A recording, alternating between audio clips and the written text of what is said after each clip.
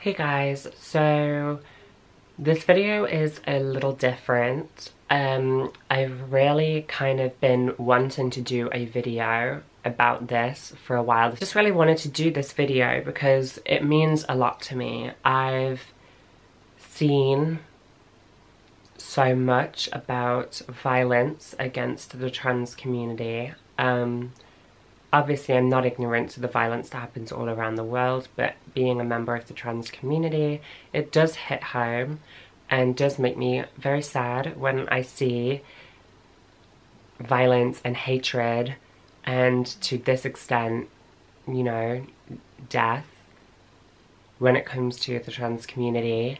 Um, I have a list here of trans people who have been reported, you know, who have been killed so far in 2017. I'm just going to read a little bit about them. Um, I'm sure that there are obviously others, but these are just the ones that have been reported in front of me, so I thought I would just go through a few of them, just to kind of share their stories a little bit.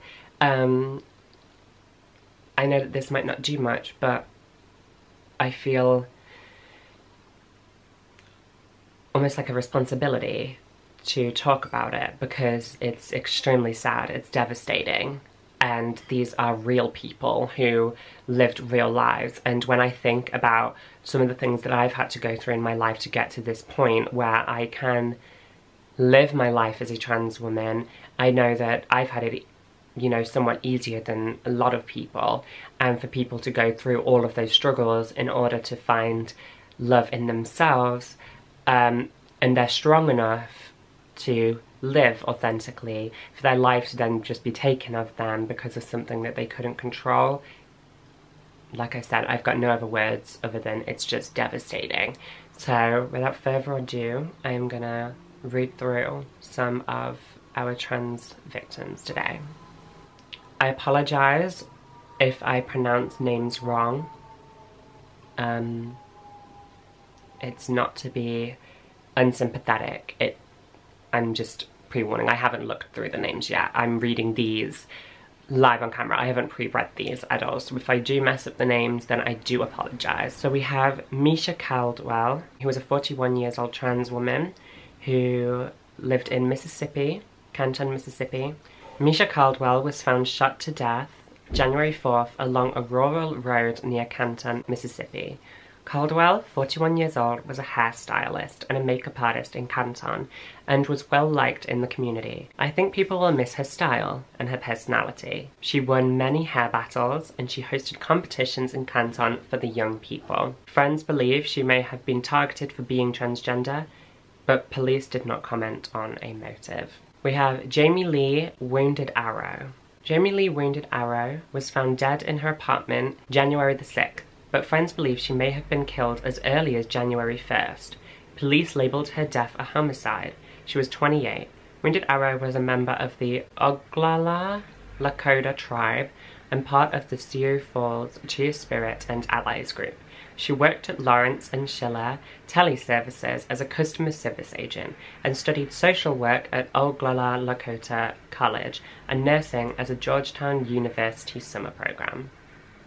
Chyna Doll Dupree. Nationally known drag performer Chyna Doll Dupree, a transgender woman, was shot to death February 25th near a shopping center in New Orleans. Neighbors reported hearing 8 to 10 gunshots. Dupree, who was also known as Chyna Gibson, had been living in California but returned to her former hometown of New Orleans to celebrate Mardi Gras with friends and relatives. She had toured in drag shows across the nation and was famous in the pageant and ball scene. She was just a really good person, a friend told the local newspaper. Everyone loved her. Jaquarius Holland, 18 years old, was shot to death February 19th in Monroe, LA. She was shot during an argument, and police have issued a warrant for the arrest of Malcolm Harvey on a charge of second-degree murder. Friend Chestnut Littleberry told Mic she often stayed with Littleberry, who said Holland was like a younger sister to her and told her and taught her self-acceptance. I've struggled with accepting myself and being who I am, and she always helped me with that. Littleberry told Mic, I want her to rest peacefully. Ciara McElveen. Ciara McElveen was stabbed to death February 27th in New Orleans. She was dragged out of a car by a man who had already stabbed her. He slammed her head to the ground.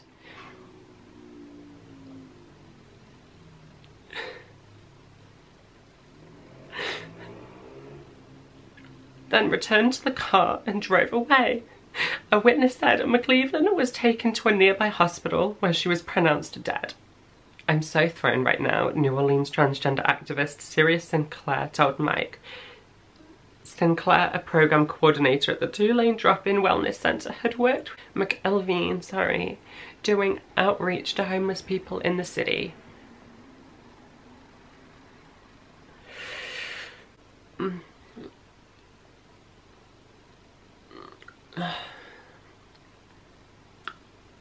Alphonsa Watson, 38, died of a gunshot wound to the stomach March 22 in Baltimore.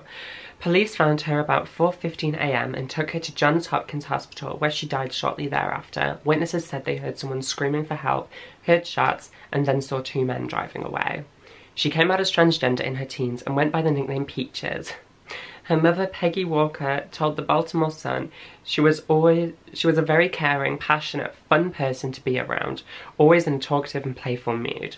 Walker said, very close to the Lord, she didn't belong to a church or anything like that, but she always talked about the Lord. She said Watson had worked at an upscale retailer in Virginia, where she was one of the best salespeople. Brenda Bostick, May 4th, 2017. Brenda Bostick, 59, died May 4th to a severe head injury she sustained in a beating April 25th. She was found on the sidewalk outside of a Five Guys restaurant in New York City, Chelsea neighborhood. Joseph Griffin, 26, has been charged with manslaughter in this case and is accused of beating Bostick with a long metal with a long metal object.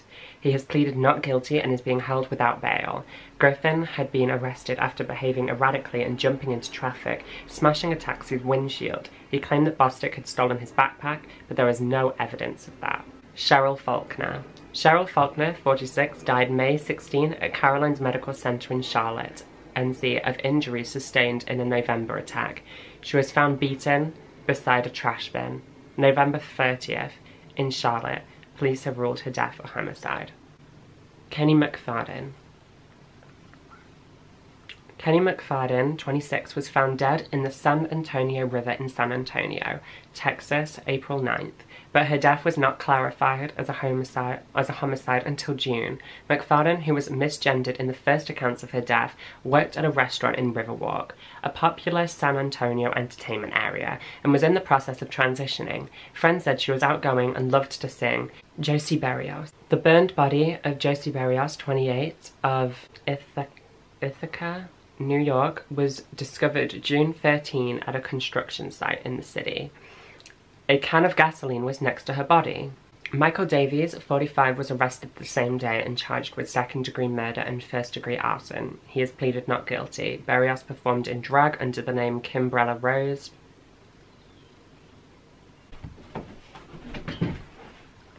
Sorry, I had to take a little break. Berrios performed in drag under the name Kimbrella Rose as part of the House of Merlot and was in the process of adopting the name Kendra Adams. She would take every negative thing that people brought about her and every aspect of her personality that could be degraded and blow it back at everyone. Colton Brady, a friend and fellow House of Merlot performer, told Mic that's what made her so great on stage.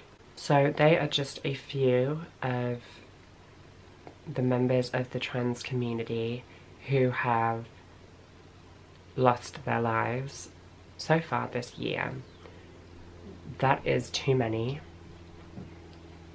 It is a hate crime. It is wrong. These are just people trying to live their lives.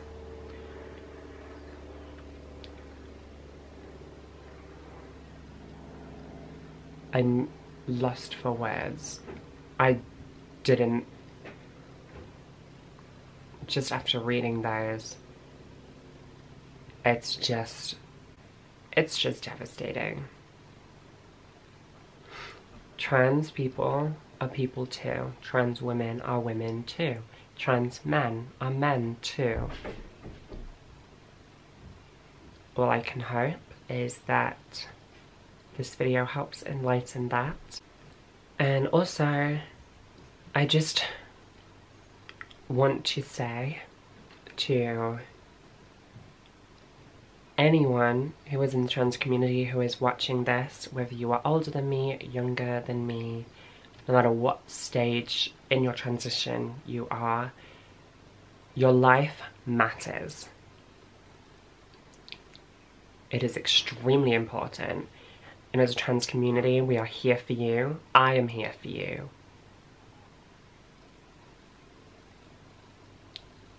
I know how it feels to wonder if your life is worth it and to wonder whether it would just be easier if you were to take your own life because sometimes carrying on seems too difficult. I've been in that position. But we need to keep fighting. Because that fight in us is what makes us special. Your life is worth everything. And I love you. Thank you for watching this video and stay safe everyone. Love you. Bye.